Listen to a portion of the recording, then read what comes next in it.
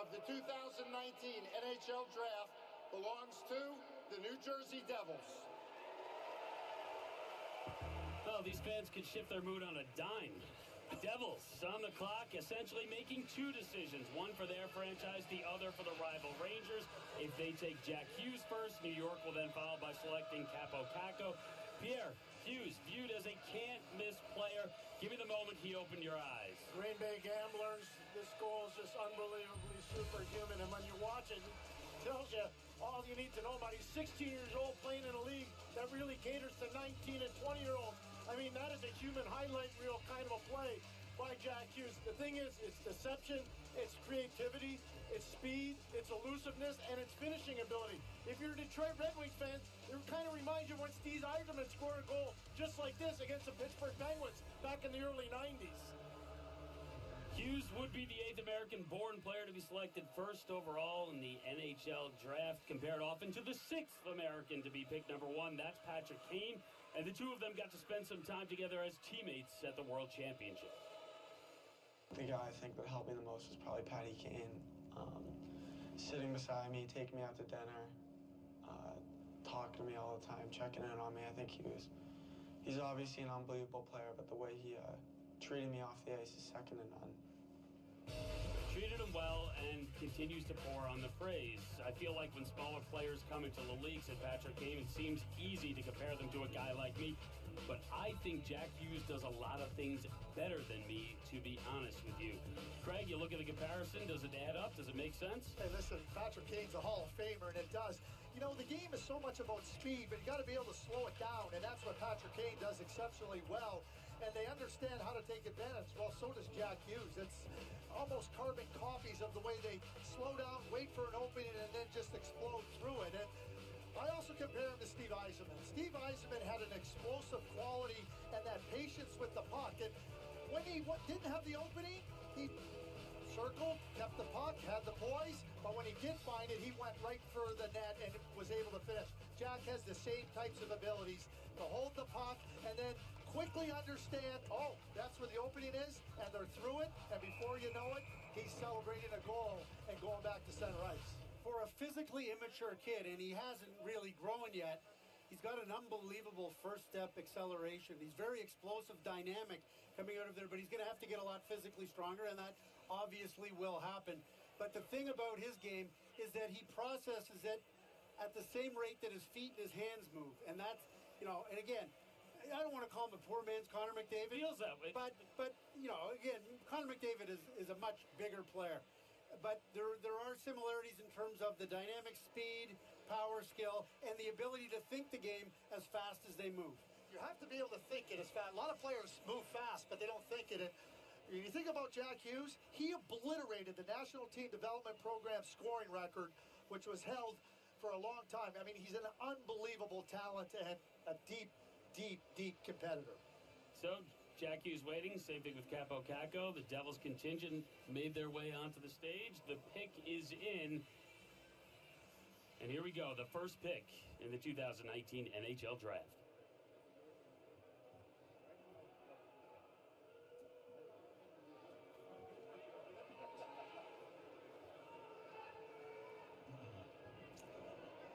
On behalf of uh, the New Jersey Devils and our managing partners, David Blitzer and Josh Harris, thank you to the City of Vancouver.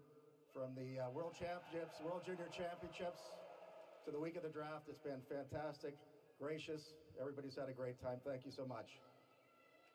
On um, also the Aquilini family, thank you for your hospitality. The St. Louis Blues, it was worth the wait. Doug Armstrong, Craig Berube, and uh, to welcome the first selection in the 2019 draft to the Devils will be a Hockey Hall of Famer, three-time Stanley Cup champion, and um, whose jersey is retired by the Devils in 2016. And we also want to say, hope everybody down at Championship Plaza in Newark, New Jersey is having a great time. To make our first selection, Martin Brodeur.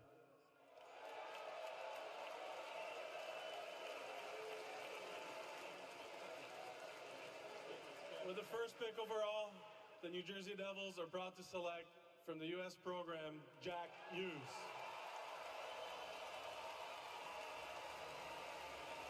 Jack Hughes celebrating with his family. You guys talked about it. Perhaps at this point, not the most physically imposing. 5'10, 171, but he is dynamic, quick feet, quick hands, quick mind. They get a franchise center. In terms of a franchise altering player, how quick of an impact do you expect him to have? I, I, it'll take a little bit of time for him to have the full impact. But make no mistake about it, his brains, his, his skills are really, really good. He also has the benefit of coming into New Jersey. Nico Hischier is there. John Hynes, the head coach, had him at the World Championships. So there's a greater understanding from John Hynes about the situations he can handle. But make no mistake about it, his impact will be for a long time and the Devils are hoping it's as long as Marty Brodeur's was. I completely agree. The biggest thing, you need to have depth down the middle in this league, and you need to have highly skilled depth down the middle. You have that in Jack Hughes. Here's one more thing to understand about him. He comes from an amazingly cerebral family. His mother and father, both college athletes and college graduates. His uncle, Adam Weinberg, is a president of Denison University, He went to Deerfield and played at Bowdoin College, where he won an ECAC championship. So this guy comes from an amazing, amazing family.